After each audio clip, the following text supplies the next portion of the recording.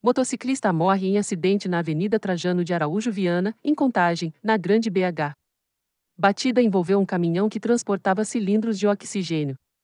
Um motociclista morreu em um acidente em Contagem, na Grande BH, na manhã desta quarta-feira, 6.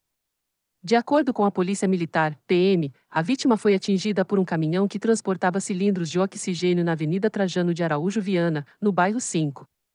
A morte foi constatada por um médico do Serviço de Atendimento Móvel de Urgência, SAMU. Por volta das 8 horas e 15, o Globocop sobrevoou o local e registrou que a pista foi totalmente interditada e o tráfego desviado para a via contrária.